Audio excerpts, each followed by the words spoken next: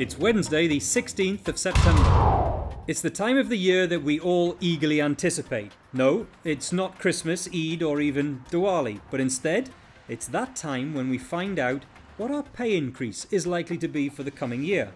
A GCC survey indicates that salaries in Oman are likely to rise by 5% in 2016. Last year, the prediction was 5.4%. Israeli police clashed with Palestinians once again on Tuesday. The youths had barricaded themselves inside Jerusalem's Al Aqsa Mosque in a third day of violence at the sacred site. 26 Palestinians and 5 police officers were injured, but none seriously. Tempers have flared as Jewish ultra nationalists have pressed the government on allowing prayers in the compound outside the mosque, which stands above the Western Wall.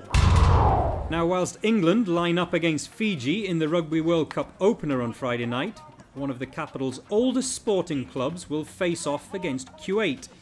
Muscat Rugby Club, which has been around since 1971, will play their first home game of the season on Friday.